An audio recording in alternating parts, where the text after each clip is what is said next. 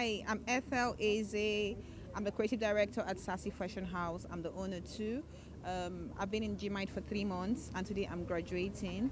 I made my clothes myself and coming to GMYT has been an eye opener. It's really amazing there. They teach well and I'm What are your expectations tonight? Okay, tonight I'm expecting to see really awesome designs because all the students have been on this um, killer outfits for a while, and today I'm just expecting to see a very fabulous runway.